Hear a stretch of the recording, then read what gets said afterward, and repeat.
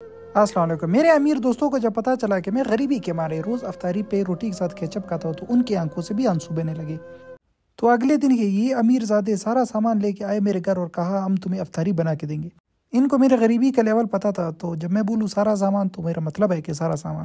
मेरे इन अमीर दोस्तों के घर में तो सारे काम नौकर करते हैं तो इन अमीर जादों ने सब एक्सपेरिमेंट मेरे ही घर पे करने थे। ये कुकर पट तो नहीं जाएगा? नहीं। तुमने कभी इस्तेमाल किया? इस्तेमाल तो नहीं किया। हाँ तो पटेगा ना मैं जा रहा हूँ यहाँ से क्या मज़ाक है? मेरे बहुत ज़्यादा पानी है पटेगा नहीं है नहीं पटेगा भाई पटेगा ही, मैं बता रही हूँ नहीं पटेगा माचिस तो इतनी महँगी हो गई है कुछ दिनों बाद सोनार की दुकान पे मिलेगी। इसी वजह से पत्थरों से आग लगानी पड़ रही है। ये अमीर लोग अपनी सेहत का खास ख्याल रखते हैं। हर जगह पे बस एक्सरसाइज और साइकिलिंग शुरू कर देते हैं। रमज़ान के इस बाबरकत महीने में हम खुद पे कुकर पटने का रिस्क बिल्कुल भी नहीं लेना चाहते थे।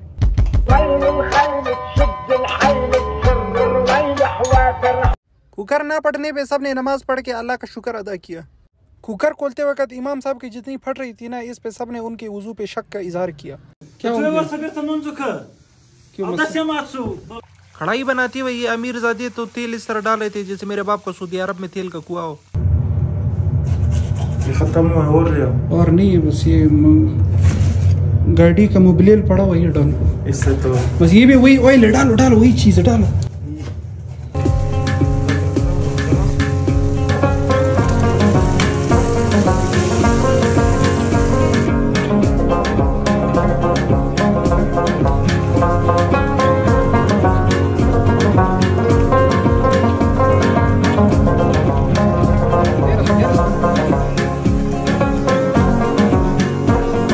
जब तक कड़ाई तैयार हो रही थी मेरे ये दोस्त मुल्क दुश्मन अनासिर से मुकाबला करने में जुड़ गए।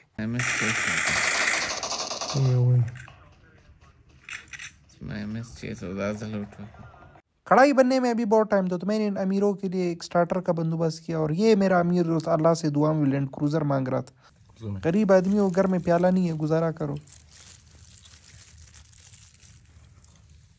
दुनिया में सबसे ज़्यादा तेल सऊदी अरब में है और उसके बाद इस कढ़ाई में।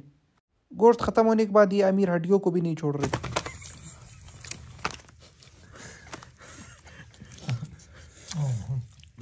कढ़ाई ख़त्म होने के बाद इन्होंने गलत फरमाइशी शुरू की। बोला कोल्ड ड्रिंक ले आओ। यार वो कोल्ड ड्रिंक लाओ। आला जल्दी करो। मैंने भी काकरोच वाला दवाई दिया सोचा रमज़ान में लुढ़क गया तो हिसाब किताब भी नहीं होगा। मेरे अमीर दोस्त मोबाइल तो बड़े महँगे रखते हैं मगर हिसाब सौ सौ रुपए का भी करते हैं। मैंने मैंने 500 दिया इन्होंने मुझे 200 और दिया। नहीं तुमको पाँच सौ क्यों दिया? सामान लाने के लिए। क्या चीज़ लाया? मैं मुझे बोलते कि सौ रुपए दो रहा ये चलो ये डेढ़ सौ रुपए एक सौ अस्सी का। डेढ़ सौ का है। हाँ चलो डेढ़ सौ का। एक हाँ, डेढ़ सौ डेढ़ सौ, दो। सौ ये गया सौ का दही गया सौ हो गए? रोटी हो गया। सौ का रोटी हो गया। हाँ। कितने हो गए? तुमने जो रोटी लाई ये तो हिसाब नहीं इसमें क्योंकि ये सारा तो हम लोग खा नहीं सके। ये भी पापड़ी क्यों गलत रोटी लाए?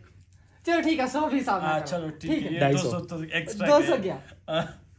दो सौ मतलब मैं दो सौ दे दिया। डेढ़ सौ रुपए सिर्फ़ उसको वो डेढ़ सौ हो गया और सौ का दही हो गया। हाँ, ढाई सौ ढाई सौ। और ये चालीस रुपए का ये बताओ ढाई सौ कितना होता है? यूनियम सल का ध्वनियम टू फिफ्टी। अच्छा टू फिफ्टी। क्या कहते हैं हमने सिर्फ़ हज़ार रुपए का ये लस्सी लाया। नहीं तुमने जो पाँच सौ खर्च किया उस बेचारे ने तीन हज़ार रुपए का सिर्फ़ गोश्त अल्लाह उसका खैरात कबूल करे ये खैरात किस तरह का तुम्हारा भी खैरात कबूल हो गए बस इन मुझे तो मुझे तो ये बोला था कि पैसा चला गया पैसा चला गया इसके बाद ये लोग जाने लगे मैंने कहा रुको अजी सा बर्तन कौन धोएगा Inky Pinky Punky, Daddy bought a donkey. Donkey died, Daddy cried. Inky Pinky Punky. अब यहाँ तक वीडियो देख लिया तो मेन पेज के साथ ब्लॉग्स वाले पेज भी फॉलो कर दो। मिलते हैं किसी और दिन। अल्लाह हाफिज़।